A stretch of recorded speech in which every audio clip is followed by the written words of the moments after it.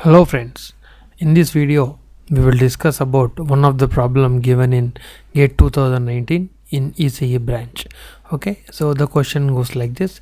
So G of S is the transfer function of a causal system which is given here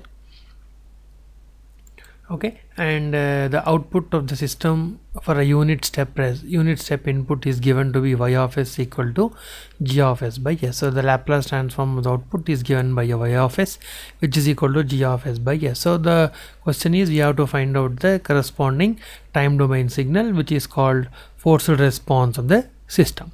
Okay? The forced response of the system is nothing but the time domain signal of y of s. So definitely to find y of t we have to find the inverse laplace transform of y of s. So y of s is nothing but g of s by s which is given here. If you substitute g of s in y of s we get y of s to be equal to this expression.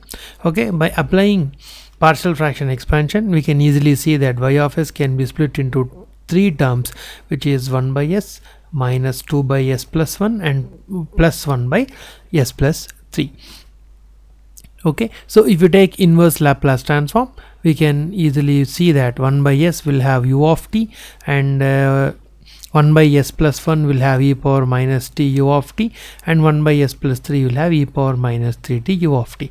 So we have this kind of signal because it is given that the system is causal. So and finally this turns out to be the